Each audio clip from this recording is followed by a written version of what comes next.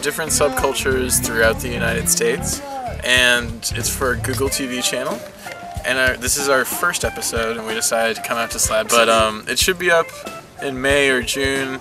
We're gonna try and get a few episodes in the can before we release one. But um, I'm expecting sometime in the middle of this year we'll be able to watch this documentary about slabs. Had a great time, met so many amazing people, so I'm excited about coming back. I was the uh, coordinating producer. I'm the uh, assistant camera. Hey there, um, Colin. I didn't really know what to expect. Uh, I, I, when I heard about this thing, I thought it was was going to be the most ridiculous thing I ever saw, and it was, but for none of the same reasons that I originally thought. Um, I think it's really amazing that a society can live and work and work functionally uh, without all the things that we take it granted for every day, like running water and electricity and all that stuff. And everyone's content with it, and that's like that's mind blowing to me.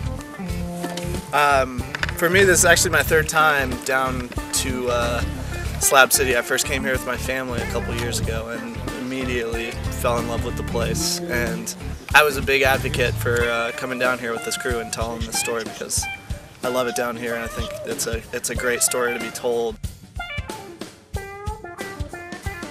So basically, you, Miriam, invited me to travel with her. We're hopping freight trains down from Oakland, and she wanted someone to basically be her travel road dog. Is that is that the correct terminology? That's what the Crusties might say. Yes, I was her road dog. And it's a selective kind of group, you know, just like any residency. But people with a specific, uh, maybe a creative vocation, are looking for something, and they somehow end up here. This is a crossroads. And I feel that this place gives people a space to imagine, to kind of have a chance to think, and to get outside of the normal kind of like space spaces that they happen to be you know, living in. So from that perspective, it reminds me a lot of that, like an ashram or a Sufi shrine.